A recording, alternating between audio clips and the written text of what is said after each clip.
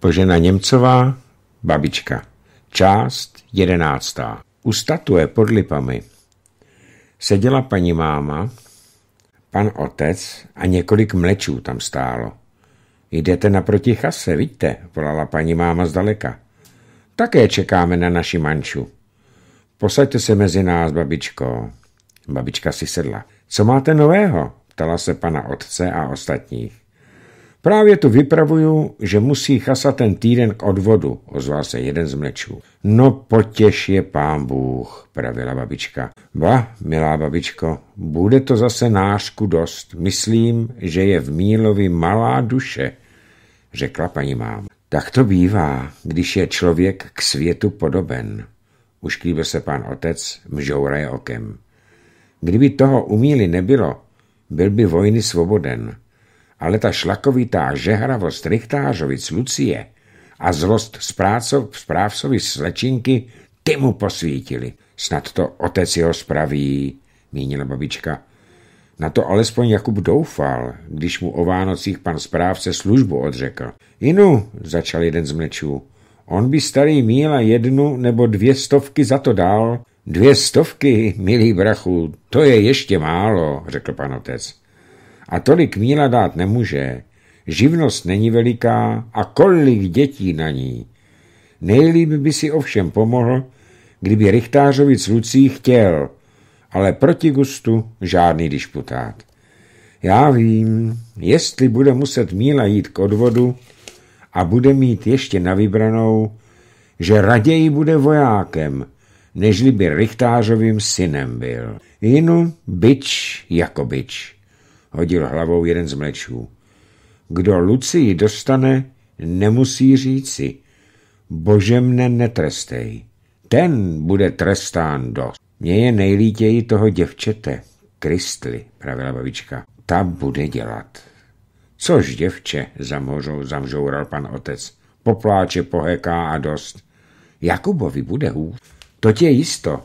Kdo není rád vojákem, těžko přivyká ale konečně by přece přivykl, jako každý jiný. Vím já dobře, pane otče, jak to chodí.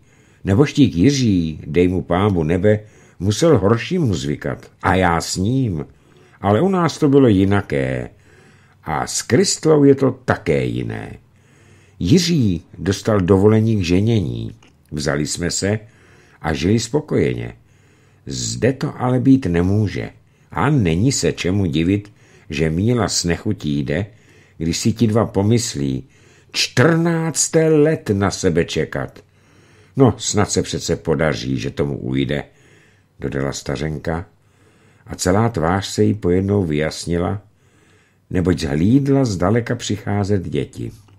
Ty, opět spacivše babičku, pustili se do běhu. No, mančo, nemáš hlad? ptal se pan otec když ho byla dcerka pozdravila. Baže mám tatínku a všecky máme hlad. Vždyť jsme neobědvali, odpověděla. O ten krajíc chleba, křížaly a buchty, to byla rosa? Mžikl pan otec za to čepixlou. Což pak, tatínku, to není žádný oběd, usmálo se děvče. A jaký kus cesty klusat a kolik se učit, není-li pravda, děti, to dostanete hlad, že? Zasmála se babička a kladouc si vřetánku pod paží dodala. Půjdeme tedy, abych si vás zachovala a hladem jste mi neumřeli. Dali si dobrou noc. Mančínka povídala ještě barunce, že bude ráno zase čekat na můstku. Pak pospíchala za matkou do mlína. Barunka chytla se babičky za ruku. Povídejte mi tedy, jak se vám vedlo, čemu jste se to ve škole učili a jak jste se chovali? Ptala se babička po cestě. Hečte, babičko, já jsem Bankfauser, vyjel rychle Jan, před babičkou poskakuje. Prosím tě, hochu, co to je? ptala se babička.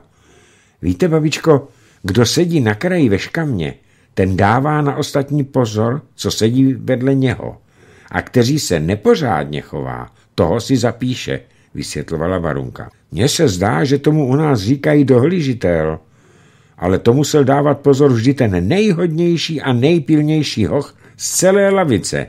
A pan učitel ho neudělal hned dohlížitelem. Však nám to kopři Vovic Toník vyčítal, když jsme šli ze školy, že prý kdybychom nebyli proškovic, že by s námi pan učitel tolik nenadělal, žalovala barunka. To si nemyslete, pravila babička. Pan učitel nebude s vámi dělat výjimky, když toho zasloužíte, potrestá vás jako toníka. On to dělá proto, abyste si té pocty vážili. Rádi do školy chodili a hleděli vždy hodnými býti. A co jste se učili? Diktando, odpověděla baronka i chlapci. Co je to vlastně? Pan učitel nám předříkává z knihy, my píšeme a pak to musíme překládat z německého do českého a z českého do německého. A což rozumějí ty děti německy? Ptala se babička, majíc při všem svoje zvláštní mínění a vše ráda dopodrobna vyzvídajíc jako paní kněžna. I babičko žádný neumí německy, jen my trochu, protože jsme se doma již učili a tatínek na nás německy mluví, ale to nic neškodí, třeba z tomu nerozuměli, jen když přinesou úlohy dobře, vykládala barunka. No ale jak pak je udělají, když neumějí na ně německy ani koukat? Však oni jsou dost trestáni, že je nedělají dobře. Pan učitel jim buď udělá čárky do černé knihy, nebo musí stát na místě hanby a někdy dostanou také fláky na ruce. Dnes měla také stát u černé tabule, co vedle mne sedí, Richtářovic Anina. Ona nikdy dik- diktando německé neumí. Ona si mi v poledne stěžovala, když jsme před školou seděli, že neumí úlohu udělat. Ani strachem nejedla. Já jsem jí to teda napsala a dostala jsem od ní dvě homolky za to. To se ale neměla brát, řekla babička. Vždyť já jsem je nechtěla vzít, ale ona povídala, že má ještě dvě. A byla tolik ráda, že jsem jí úlohy napsala a slíbila mi, že mi přinese každý den něco, jen abych jí s tou Němčinou pomohla. A proč bych jí to neudělala? Víte, babičko, pomoci jí můžeš, ale ne dělat. Sice se to nenaučí. I co pak z toho? To nemusí umět. To se učíme jen tak, že pan učitel chce. Protože pan učitel chce, aby z vás něco bylo. A čím více umíte, tím snáze ve světě projdete. A německá řeč je přece jen potřebná. Vidíte, ani si nemohu s vaším otcem pohovořit. Ale tatínek vám přece všechno rozumí a vy tatínkovi. A nemluvíte německy. Ale ve žliči mluví se jen česky. Tedy nemusí ani naumět německy. Povídala, když bude chtít umět, že může jít do Němec. Ale pán učitel jinak nedá. A Lečku, babičko, on se žádný rád neučí německé diktando.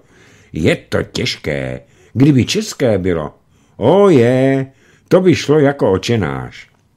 Inu, když vy z toho ještě nemáte rozum, ale máte poslechnout a všemu se rádi učit.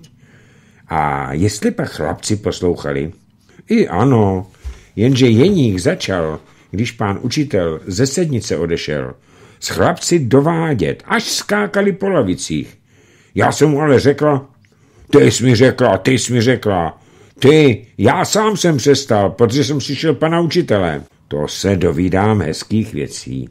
Máš dohlížet na jiné a sám tropíš. Jak to?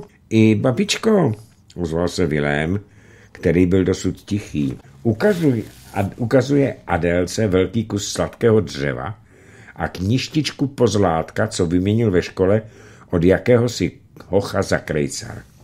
I babičko, to jsou rozpustili ti kluci ve škole až růza. Kdybyste viděla, oni skáčou po škamnech a perou se a dohlížitelové také s nimi. I pro pána krále. Co tomu říká pan učitel? To když pan učitel odejde ze školy ven, když má přijít, to honem skákají na svá místa, dají ruce na škamna a je ticho.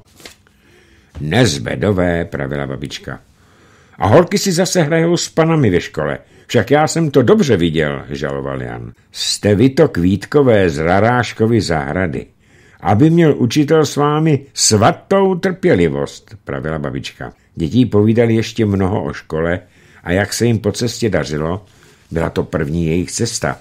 A nesmálo se na svoji samostatnost, nemálo se na svoji samostatnost pišnili, jak by z Paříže se byli vrátili. A kde máš homolky? Snědli jste je? Ptala se ještě babička, zkoumajíc, co vše děti jedly, neboť o jejich zdraví starost měla. Jednu jsme snědli, druhou jsem si chtěla nechat domů, ale když jsem u tabule psala, vyšantročil mi kopřiva z mošinky, on sedí za mnou. Kdybych mu byla co řekla, byl by mě, až bychom si ze školy nabuchcoval. Ten je pěkný. Babička nedala dětem za pravdu, ale v duši si myslela. Vždyť jsme my nebyli lepší. Děti dobře věděli, že je babička schovývavější než matka. Ona k mnohému dětskému šelmoství, co chlapci provedli, oko zamhouřila. Nebránila, když si někdy barunka zaskotačila, proto se jí také se vším svěřili spíše než matce, která dle své přísné povahy vše přísněji brala. Kapitola 14. Bylo to za několik dní po prvním máji. Byl čtvrtek, děti neměli školu a pomáhali babičce v zahrádce zalívat květinky a víno, které se již pozdě zelenalo. Šli si také zalít svoje stromky. Oni měli ten čtvrtek vůbec mnoho práce, neboť tři dny neprohlížela barunka svoje pany, chlapci nemohli prohnat koníky, vozy, flinty a míče leželi v koutku. V holubníku také nebyli a králíky krmila Adelka. Ve čtvrtek muselo se vše vynahradit. Babička, hotová jsou se zalíváním, nechala děti hrát, sedla na drnové sedátko pod modrý bez a pustila se do přádla, neboť nebyla zvyklá ani chvíli zahálet. Byla smutná, ani si nespívala, ani si nevšímala černé slepice, která vešla otevřeními vrátky do zahrady a když nikdo nebránil, na záhonku si hrabat začala. Sivá husa pásla se u plotu. Žluté její housátka postrkovaly hlavičky plotem všetečně do zahrady nahlížejíce. Babička je měla velmi ráda, ty housátka. A teď si jich ani nevšimla. Na kolikero stran myšlenky její zabíhaly. Přišel zvěst z Vídně od Jana, že nepřijedou v polovici máje. Komteza Hortenzie se těžce roznemohla. Dáli jí Bůh zase zdraví, pak, že by snad paní kněžna se podívala na panství, jisto však, že to není. Paní Tereska, když list přišel, plakala. Děti také plakali. Vilím měl na dveřích jen několik čárek ještě k smazání. A tu najednou bylo všecko jeho snažení a těšení na dar. A ta dobrá milá hortenzie, aby měla umřít, to jim nešlo ani do hlavy. Nezapomněli při žádném modlení obětovat očenáš za její uzdravení. Ale což, děti spokojili se zase. Paní Tereska však bez toho málo mluvná, ještě méně mluvila. A kdykoliv babička do pokoje k ní přišla, viděla ji uplakanou. Posílala ji tedy raději na návštěvy, aby se vyrazila. Ona byla babička vůbec ráda, když Tereska někam si vyšla, neboť viděla předobře, že se přece jen dceři v osamělém staveníčku mnohdy stýská a že by raději živa byla v lučném světě, jemuž po mnohá léta byla uvyklá. Manželství byla velmi šťastná, ale to zlé bylo přitom, že Jan největší část roku ve Vídni trávit musel a ona ve strachu a stezku bez něho žít musela. A nyní neměla vidět ani manžela. Děti otce snad celý rok. Pro život, zas život, povídala si babička. S Janem chtěla přijet Johanka, druhá dcera babiččina.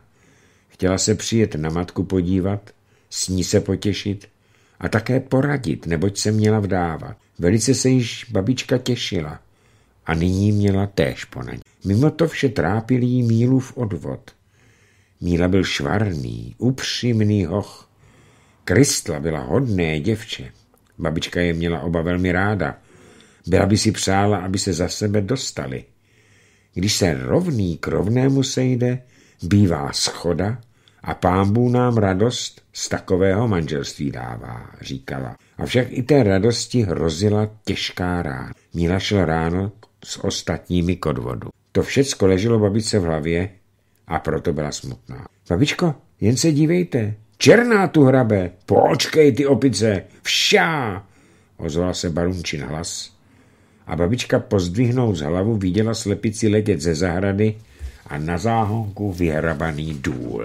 To je kůže, jak chytře si přišla. Vezmi hrábě, barunko, a oprav záhonek. Leďme ji. A husy jsou tu také. Ono mne to volá. Je čas. Šlo by to nahřat a já se trochu zapomněla. Musím jim nasypat. To škouc odložila babička v řetánko a šla si nakrmit drůbež. Barunka zůstala v zahrádce, srovnávala záhon. Za chvíli přišla Kristla. Jste tu sama? Ptala se nahlídnout přes. Jen pojď dále. Babička přijde hned, šla sypat drůbeží, zvala Barunka. Kde pak je matka? Šla do města navštívit kmotřinku, to víš. Maminka pláče, poněvadž tatínek snad ani letos nepřijede. Proto babička maminku raději posílá, kde by se trochu vyrazila. My se všecky tolik na tatínka těšili a na komtesu také. A všechno nám teď sklaplo.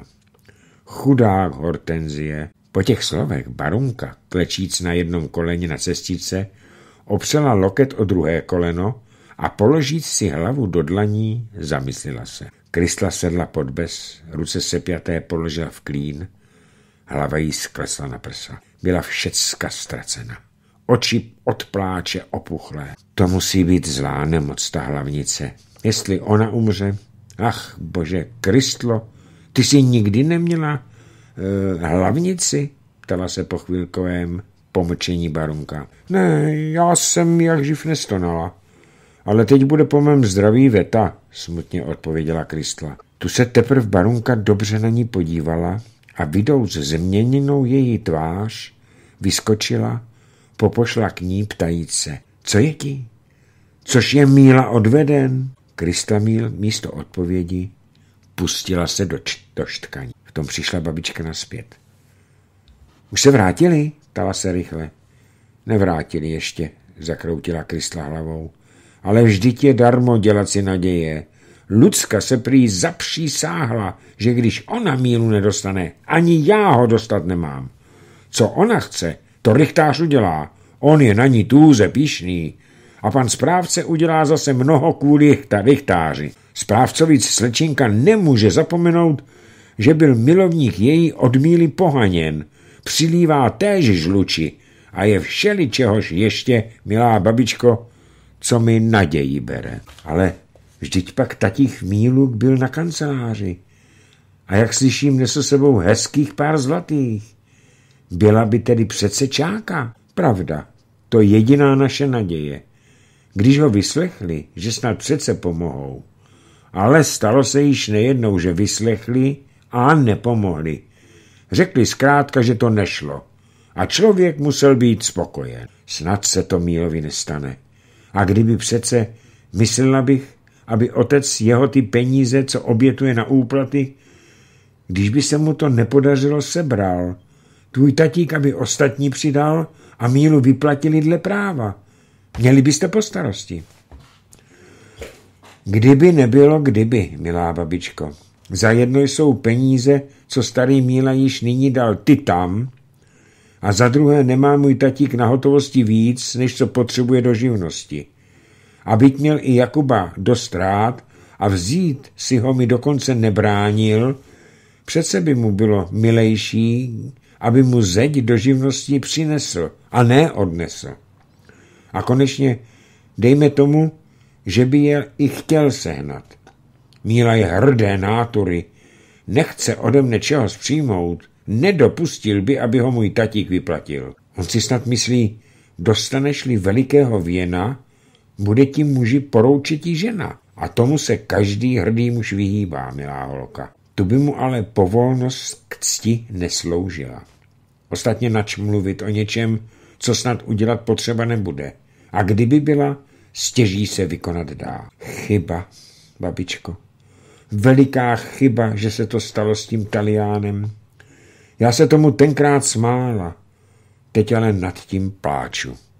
Pravila Krista. A kdyby toho nebylo, byl by se dostal Míla do dvora, dvě léta by tam byl sloužil a sprostil se tak vojny. To mne nejvíc trápí, že já vlastně vina jsem. Bláhová, proč by svínila se? Jako by tuhle ta sedmikráska za to mohla, když bychom obě jí chtíce míti, oni se pohádali. Tož bych já se musela též vinit, že jsem přivedla mého nebošíka do podobné nesnáze. Byla to skoro podobná případnost jako u tebe, milá brachu. Což pak člověk, když ho hněv, žehravost a láska, aneb jiná jakákoliv vášen uchvátí, má tolik kdy, aby se s rozmyslem radil? Tu chvíli, kdyby po něm bylo, nebude dbát. A což? Je to všechno platno. I ten nejdokonalejší člověk podléhá slabostem. Babičko, vy jste již loňský rok o svátku pana Proška řekla, že váš neboštík podobného co zdokázal. Zač trpěl a nyní jste se zmínila zase. Já zapomněla jako na smrt tázat se vás od té doby. Povězte mi to nyní. Ujde chvíle, přijdem na jiné myšlenky a sedí se tu pod tím bezem až milo, prosila Krysla. Třeba, řekla babička. A ty, Barunko, jdi a dej mi pozor po těch dětech, ať mi to nejde k vodě. Barunka odešla a babička začala. Byla jsem děvčice vyrostlá již, když začala Marie Terezie s Prusem vojnu. O něco se nepohodli. Císař Josef s vojkem, s vojskem přitáhl k Jaroměři a Prus položil se u hranice. V celém okolí bylo vojsko rozloženo, i po vesnicích.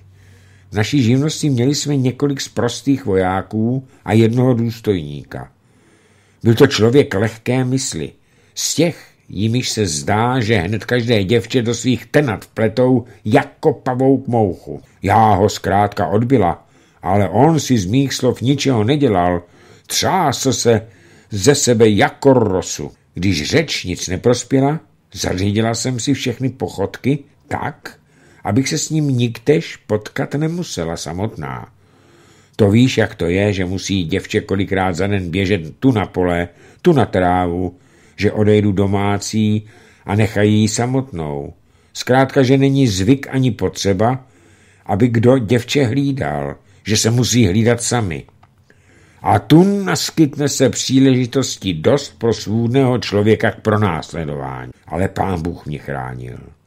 Na trávu chodívala jsem časinko z rána, když ještě všecko spalo. Já od mladosti časně rád dostávala. Matka mi vždy říkávala, kdo časně vstává, tomu pán Bůh dává. Měla pravdu. Kdybych ani jiný užitek z toho byla neměla, tedy radost. Když jsem vešla z rána do sadu nebo do pole a viděla travičku pěkně zelenou, porosenou, srdce se mi na ní smálo. Každé kvítečko stála jako pana s pozdviženou hlavičkou a vyspalýma očkama. Všude čpěla vůně, z každého lístečku, z každé travičky.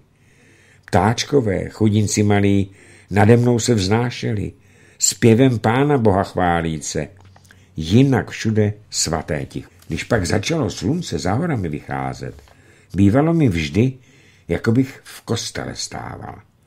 Zpívala jsem si a práce mi šla od ruky, jak by hrál. Jednou tedy z rána kosím, bylo to v sadu, tu slyším za sebou Pomáhej, pán Bůh, Madlenko.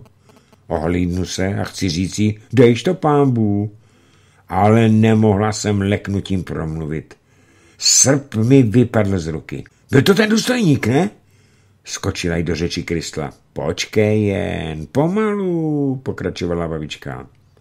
Nebyl to důstojník. Sice bych byla srp nepustila, to bylo radostné leknutí. Jiří stál přede mnou. Musím ti říci, že jsem ho po tři léta neviděla. To víš, že byl Jiřík syn naší sousedky Novotné, té samé, co se mnou byla, když jsme s císařem Josefem mluvili? Ano, to vím. Také jste nám povídala, že místo kněze z něho se stal tkadlec. No ano, to byl jeho strýc Vinen. Hochovi šlo učení, jak by hrál. Kdykoliv tatík pro něho do Rychnova jel, vždy slyšel jen chválu o něm. V neděli, když byl doma na vakacích, čítal místo mého tatíka, který byl přece výborný čtenář, sousedům z Bible a tak mu to šlo, že jsme s radostí poslouchali. Novotná říkávala, jako bych toho hocha už viděla kázat. My všichni k němu chovali se, jako by byl již vysvěcen. Kde která co dobrého dělala, poslala mu. A jestli se omlouvala novotná, ale bože, co my vám zase dáme, říkali, až bude Jiřík panem Páterem, dá nám požehnání. My spolu rostli, co jeden to druhý. Ale když přišel o druhých, třetích vakacích, neměla jsem už k němu té smělosti. Styděla jsem se ho. A když mnohdy za mnou přišel do sadu a mermo moci mi po, pomohl trávu nést, dělala jsem si z toho hřích, že mu v tom povoluju. Opakovala jsem mu, že se to pro pana Pátera nesluší, ale on se jen mi smál. To prý ještě kolik košů vody uteče, než on kázati bude. Bývá tak, že lidé míní a pán Bůh mění. Najednou, když byl na třetích vakacích, přišlo vzkázání z Klacka od strýce Jiříkova, aby tam k němu přišel. Byl ten strýc tkadlec, tkal krásné, činované věci, tím si vydělal hezkých pár zlatých. A že neměl děti, zapomněl, vzpomněl si na Jiříka. Kmotra nechtěla ho poslat, ale tatík sám jí domlouval, aby ho nechala jít, že to může být k jeho štěstí. A bratr otcův, že má přece k němu jakési právo. Šel. Kmotra a můj tatík ho provázeli, jdouce spolu do Vambeřic na pouť. Oni přišli zpátky, Jiřík tam zůstal. Stýskalo se po něm všem, mě ale a kmotře nejvíc. Jenže ona o tom mluvila a já se nikomu nepochlubila. Strýc slíbil, že se bude o něho starat jako o svého. Motra myslela tedy, že chodí v Klacku do škol. Těšila se již, že dostane co nevidět první posvěcení a medle. Jiřík za rok přišel domů se podívat a přišel co vyučený tkadlec. Kmotra plakala až hrůza. Ale co dělat? Jiří prosil a přiznal se, že neměl pražádnou chuť na, kněž, na kněžství jít, ačkoliv by byl rád dále študíroval. Ale strýc, že mu to vymluvil, že mu představil, jak dlouho by se musel nuzovat a potloukat po školách, po úřadech, nežli by došel kousku chleba. Domlouval mu, aby se chopil řemesla, to, že ho uživí záhy. Řemeslo, že je zlaté dno a tím lepší pro něho, když je i jinak cvičen. Zkrátka, Jiří si dal říci, učil se tkalcovství a že se všeho s celou chutí chopil, prospíval i v řemesle. Strýc mu dal v roce za vyučenou, pak poslal ho do světa na zkušenou a sice nejprve do města Berlína, ke svému známému, kde se měl ještě dotvrdit. Jiří ale stavil se dříve ještě v Čechách, u nás. Tenkrát mi přinesl tu ten růženec z Vambeřic. To škouc. Vytáhla babička ze záňadří klokočový růženec, který nikdy neodložila. Chvilku se na něj s pohnutím dívala. Pak za spolíbíc ho schovala a pokračovala dál. Můj otec neměl Jiřímu za zlé, že se dal na řemeslo. Domlouval novotné, aby si z toho nic nedělala, že jí naděle zme, naděje zmehla. Kdo ví, k čemu to dobré, povídal. Nechte ho, jak si udělal, tak bude mít. Třeba z cusky přepřádal, jen když svému dílu bude rozumět a zůstane poctivým, hodným člověkem, pak zaslouží takovou čest, jako kterýkoliv pán. Jiří byl rád, že se na něho kmotr nehněval, neboť ho měl co vlastního otce. I novotná si dala říci. Jak pak by nedala? Vždyť to bylo její dítě, které milovala. Nemohla tedy chtít, aby se cítilo nešťastné ve svém stavu. Pobyl u nás Jiřík několik dní, pak odešel do světa a tři léta jsme ho neviděli a hrubě ani o něm neslyšeli. Až se to ráno přede mnou vyskytl. Můžeš si myslit, jakou radost jsem měla. Hned jsem ho poznala ačkoliv se velice změnil. Vysoký byl neobyčejně, přitom tak pěkně urostlý, že by těžko bylo rovně mu pohledět. Sehnul se ke mně, vzal za ruku a povídá, proč jsem se ho tak lekla. Jak se neleknout, Řku? Vždyť si se tu odstnul, jak bys z oblak spadl. Odkud jsi přišel? A kdy? Jdu přímo z Klacka. Strýc se bojí, poněvadž tam všude verbujou, aby mě nikde nesebrali verbíři. Poslal mne, sotva jsem se ze zkušené vrátil do Čech. A myslí si, že se zde snáze skryju. Protloukl jsem se šťastně přes hory a tu jsem. Ale pro pána boha, povídá mu, jen aby tě tu nesebrali. Co říká máma? Já ji ještě neviděl. Ve dvě hodiny z půlnoci jsem dorazil na místo. Nechtěl jsem mámu budit. Lehneš si na trávu pod madlenčino okno, ona je raná, počkáš, až vstane, pak půjdeš, myslel jsem, a lehl si na zelenou peřinu. Opravdu, o tobě se darmo neříká ve vsi. Než skršivan začne zpívat, Madlenka nese trávu domů. Sotva svítá a ty už kosíš. Já tě viděl u studně mít, česat se. A sotva, že jsem ze zdržet se mohl, abych k tobě nepřiskočil, když si se ale modlila, nechtěl jsem tě vytrhovat. Ale teď mi pověz, jestli nemáš ještě ráda. Takovou řeč vedl. Jak jsem měla jinak říci, nežli že mám? Vždyť pak jsme se měli rádi od mladosti. A jak tě živa by mi na jiného myšlenka ani nepřišla. Trochu jsme povídali, pak vklouzl Jiří do chalupy k mámě. Já zase šla povědět tátovi, že přišel. Tatík byl moudrý člověk. Jemu se nelíbilo, že Jiří přišel v takovou nebezpečnou dobu. Nevím, povídal, jestli zde ujde bílému kabátu. Co možného bude uděláme, abychom ho uklidili. Jen žádnému neříkejte, že je tu. Novotná, ačkoliv měla velikou radost, měla přitom přece hrozný strach, neboť Jiří byl k rekrutýrce vypsán a jen tím ušel, že nevěděl nikdo, kde je. Tři dny seděl ukrytý na hůře v seně. Přes den byla u něho máma, na večer vklouza jsem i já k němu. A ve spolek jsme si potom o všelišem spovídali. Měla jsem takový strach o něho, že jsem chodila celé dny jako zmámená ovce. A zapomněla důstojníku se vyhýbat. Takže jsem mu několikrát přišla do rány. On myslel snad, že se chci udobřit. Začala hned zpívat starou notu. Nechala jsem ho mluvit. Ani jsem mu nepřiřekla tak zhruba jako kdy jindy, protože jsem se bála u Jiříka. Jak povídám, Jiří byl ukryt. Mimo mne, jeho mámu a mé rodiče nevěděl nikdo o něm. Třetí večer jdu z chalupy, trochu jsem se u Jiříka déle zdržela. Bylo už všude ticho a hodně tma. To mě vběhne do cesty důstojník. Vyčíhal mne, že chodím večer ke kmotře a tu si usadu na mě počkal. Co dělá? Mohla jsem jen křiknout, ale Jiří na hůře každé hlasité slovo by byl zaslechl a svolat ho jsem se bála. Spolehla jsem se na svoji sílu.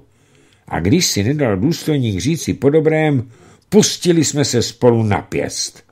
No, nesměj se, holka, nesměj. Nekoukej na mne, jaká nyní jsem. Bylaď jsem vž ovšem nevelká, ale sporá. Ruce moje, zvyklé na těžkou práci, byly tvrdé. Byla bych mu dobře odolala. Kdyby byl ve steku, nezačínal na mě lát a hřešit. Tím se prozradil.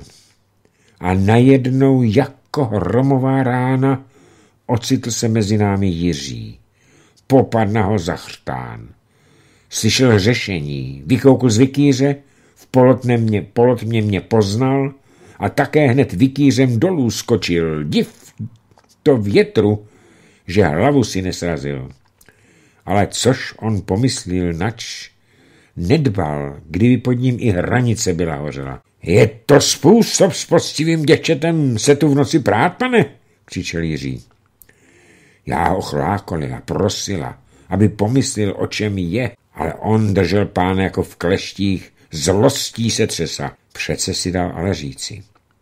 V jiné chvíli a na jiném místě bychom si něco jiného pověděli. Ale z... není zde k tomu čas, tedy slyšte a pamatujte. To děvče je mojí nevěstou. Nebude-li mít budoucně před vámi pokoj, promluvíme spolu jinak A nyní jděte. Poté přehodil pána přes vrátka jako hniličku, mne pak vzal kolem krku a povídá, Madlenko, pamatuj na mě. Pozdravuj mámu a buďte tu zdraví. Musím tu chvíli pryč, sice mě chytí. Nebojte se o mě. Já znám každou stezku a jistě se protluču. Půjdu do Klacka, kde se přece nějak ukryju. Prosím tě, přijď do Vambeřic na pouť. Tam se shledám. Když jsem se zpamatovala, byl ten tam. Já běžím hned k novotné povědi, co se stalo. Jdeme k našim. Všichni jsme byli jako bez smyslu. Každého šumotu jsme se lekali. Důstojník rozeslal vojáky na všechny strany. Nepoznaje Jiřího myslil, že je přespolní a že ho někde natrefí. Ten ale jim šťastně uklouzl. Vyhýbala jsem se pánovi, jak jsem jen mohla, ale on nemohla se jinak pomstít, odstouzel mě po vsi, jako bych špatné děvče byla. Znali mě všichni a nepodařilo se mu to. Naštěstí, naštěstí přišel rozkaz, aby se vojsko hnulo zpět. Prus vtrhl přes hranice. Ono z celé té vojny nic nebylo. Sedláci říkali jí Koláčová, protože prý vojáci, když snědli po vesnicích koláče, domů se vrátili. A jak se dělo s Jiřím? ptala se Krysla, s napnutostí poslouchajíc. Nevěděla jsem o ničem ničehož až do jara, poněvadž s těmi nepokojí nikdo nepřichází. Byli jsme jako na trní. Přišlo jaro a ještě nic. Vydala jsem se na pout, jak jsem byla, Jiříkovi slíbila. Šlo více známých a našim nejím dali na starost. Vůdce náš byl kolikrát v Kladcku a tatík mu nařídil, aby mne tam dovedl. On to tam znal, každý kout. Stavíme se u paní Lidušky, abychom se trochu spořádali, řekl vůdce, když jsme přišli do města. Vešli jsme do malé hospůdky na předměstí. Paní Lidušce zacházeli všichni, kteří z Čech přišli. Ona byla z naší krajiny. Tenkrát se ještě v Kladsku mluvilo všude česky, než to bývá tak, že se lidé rodilí z jedné krajiny rádi shledají. Paní Liduška nás s velikou radostí přivítala a museli jsme do její sedničky. Jen se posaďte, já jsem tu hned, jen trochu vinné polívky vám přinesu, pravila ochotně a ztratila se ze dveří. Já měla srdce jako v kleštích. Byla to radost, že se s Jiřím shledám, i strach, že se mu snad co přihodilo za tím, co jsme o něm neslyšeli. Tu najednou zaslechnu venku známý hlas pozdravovat paní Lidušku a jí zase volat jen dále, pane Jiříku, jsou tam boudníci z Čech? Dveře se rychle otevřely, v nich se ukázal Jiří. Avšak zhlídnout ho, zůstala jsem jako hromem omráčená. Byl ve vojenském.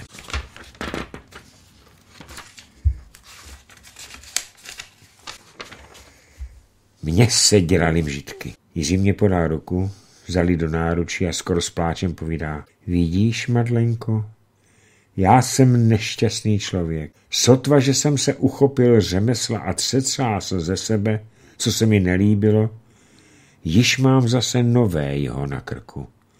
Z deště jsem utekl a dostal se potokap. Kdybych v Čechách byl, alespoň bych sloužil svému císaři pámu pánu. A zde musím sloužit cizému. Pro boha tě prosím, co jsi to dovedl, že tě vzali, povídám mu a hlas se mi třásl. Inu, milá, mladost, nerozum. Nevěřil jsem zkušenému strejci, když jsem od vás utekl. Všude se mi stýskalo.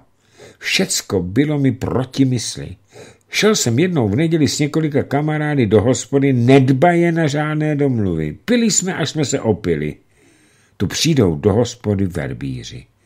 Ti lotři, skočila mu do řeči paní Liduška, která právě polévku přinesla. Kdyby pan Jiřík byl u mne, kdyby byl býval u mne, nebylo by se mu nic stalo. Já ty všechny jejich klamy mami netrpím u mne. Avšak pan strýc jinam nejde než k lidušce. Inu, člověk má svědomí. Ten mladý lid, inu, co jde dělat? když to nemá rozumu. Už si z toho nic nedělejte, pane Jiříku, jste čistý hoch. Náš král má rád velké vojáky. Nenechá vás dlouho bez hůlky. Ať je to již jak chce, začal Jiří. Co se stalo, stalo se. My nebyli svoji. Verbíři nás obalamutili a když jsem vystřízlivěl, byli jsme já a Lehocký, můj nejmilejší kamarád, vojáky. Myslel jsem, že si hlavu strhnu. Ale co dělat? Strýc také naříkal dost. Konečně přemýšlel, jak by se alespoň celá ta věc dala vylepšit. Když ne napravit, šel ke generálovi a to uprosil, že jsem zůstal zde, že se co nejdřív kaprálem stanu. A no, to si povíme ještě.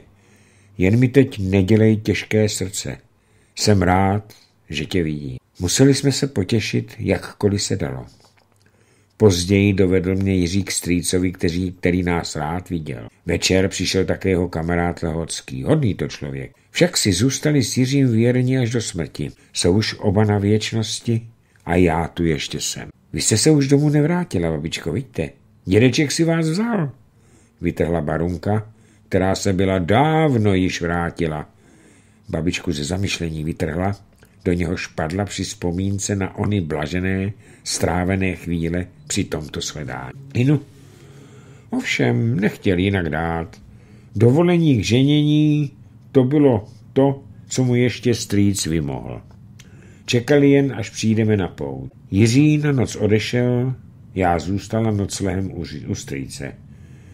Byl to dobrý staroušek. Pán Bůh mu dej nebe. Druhý den časně ráno Jiří přiběhl a dlouho se strýcem se o něčem radili. Pak přišel ke mně a povídá, Madlenko, řekni mi upřímně, na dobré svědomí, máš mne tak ráda, abys se mnou i zlé snášela, otce i matku opustila? A jášku, že mám.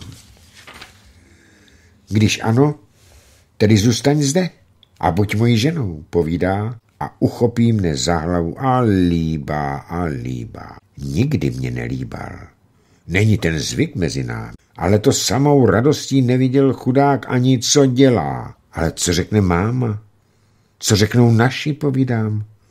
A srdce se mi třáslo radostí i teskností. Co by říkali? Vždyť nás mají rádi. Vždyť nebudou chtít, abych se usoužil. Ale můj bože Jiříku, přece nám musí dát rodiče požehnání. Jiří neříkal na to nic, ale strýc přistoupil k nám, poslal Jiříka ven a povídá. Madlenko, ty snábožná děvčice, líbíš se mi. Vidím, že bude Jiří šťasten a že ne nadarmo po tobě si naříkal. Já bych mu bránil, kdyby to byl jiný člověk, ale on má svoji hlavu. Kdyby mne nebylo, byl by si zoufal, když ho odvedli. Já trefil ho potěšit, a sice tím, že jsem mu vymohl dovolení k ženění. Nemohl, nemohu zůstat ve. Do Čech nesmí. A kdybys ty domů zase šla, kdo ví, zdali by tě vaši nepřemlouvali. Až budete svoji, pak pojedeme spolu do Olešnice a rodiče ti požehnání neodeprou. Poutníkům dáme sebou list. Po zejtří budete mít odávky ve vojenské kapli, já budu zastávat místo vašich rodičů a beru si to zodpovídání na svědomí. Madlenko, podívej se na mne. Mám hlavu jako sníh. Myslíš, že bych něco udělal, z čeho bych nemohl před Bohem se odpovídat? Tak mi řekl strýc a slze mu tekly po tváři. Svolila jsem ke všemu.